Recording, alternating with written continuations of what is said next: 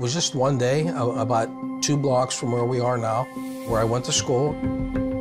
There was a playground in the back, and it was like recess time, and we went out and we got hot. Smoking pot wasn't anything 12-year-old Lee Vozel planned on or even thought about. But the first time he got stoned, he was hooked. I knew that, you know, obviously something wasn't right by, by doing it, but it numbed the pain that I had already uh, experienced in life. Much of that pain came from watching his younger brother suffer from muscular dystrophy.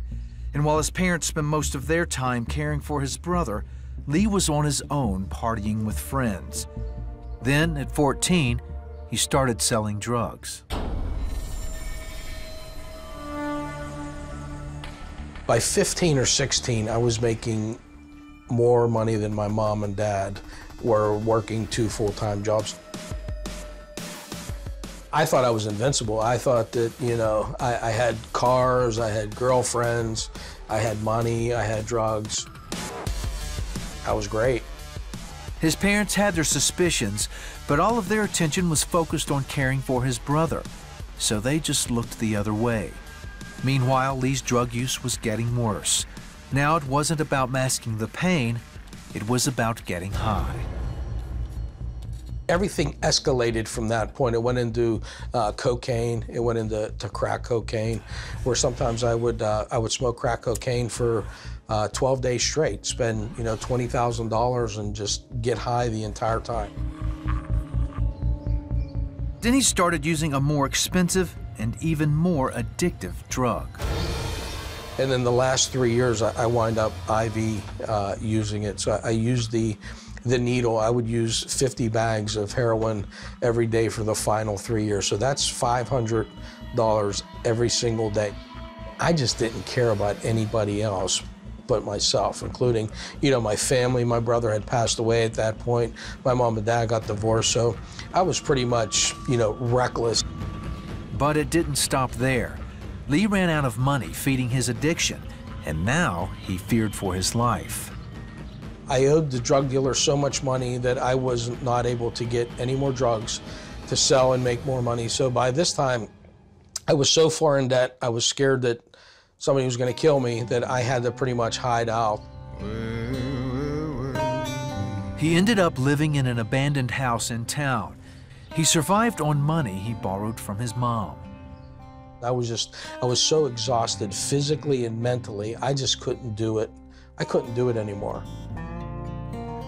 And I knew at that point that there was something different that I wanted. I just wasn't sure how I could get out of the lifestyle that I was living. Lee tried drug rehab 10 different times, but it never helped. Finally, his mother convinced him to enter a Christian-based recovery program called Hope Home.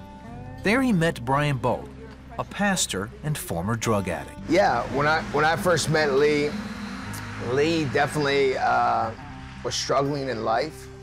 And Lee definitely didn't want anything to do with God. Pastor Brian took Lee to the recovery home and sent him upstairs to unpack his clothes. He didn't know Lee had a stash of heroin. I heard this loud thud.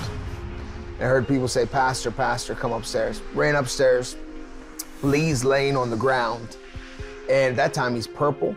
And I see a needle and an empty bag of heroin next to him. And I told the guys, call 911.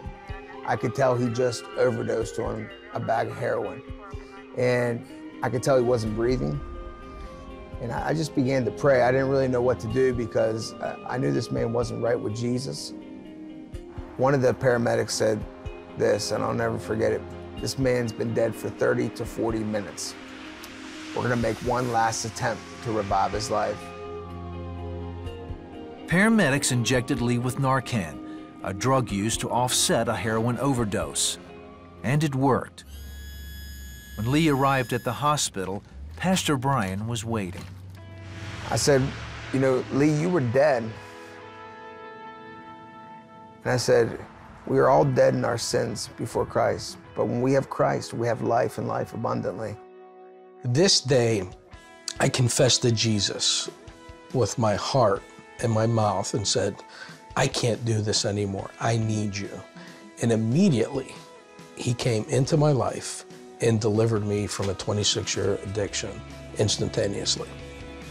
The next day, Lee was on a train to California headed to another recovery home called Victory House.